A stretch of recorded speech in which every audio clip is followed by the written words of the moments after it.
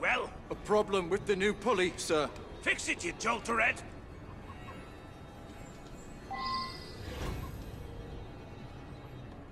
The trick is in the drop. You let them go too fast. The neck breaks. They're dead. You take them down. Nah. You got to get the weight just right. Them gentle let them do the work.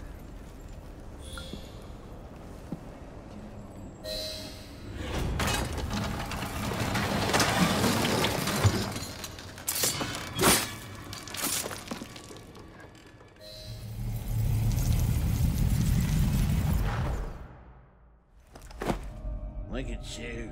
Goody two shoes, is it? You think offering some old hangman's going to change what we do here? We. What do you think? This was your brother's vision. His inspiration. I don't believe you. He told Mr. Jack how to rip the filth from this rotten city, but you don't have the balls to see what's right and necessary. Where's Jack? Where's the Ripper?